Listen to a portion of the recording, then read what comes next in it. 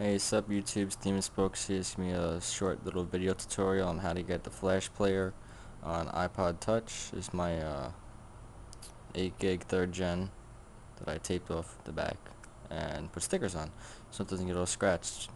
Anyway, um, I'm going to show you how to get a Flash player plugin. You have to go to your Manage on Cydia, go to Sources, and add this source d.imobilecinema.com add that source install all three packages exit out of Cydia and then what you have to do? Go on Safari.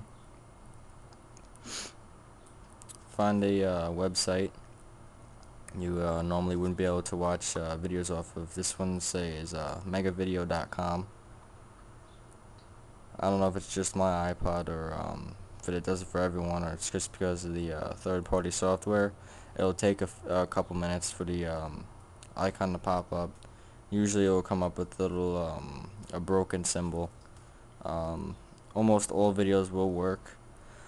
Some of them will still will not this one does work. I don't know how long it usually takes to the uh, thing to come up, but uh, I'll continue recording after the icons popped up.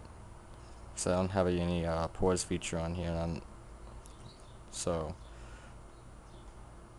I'll continue part two in a few moments.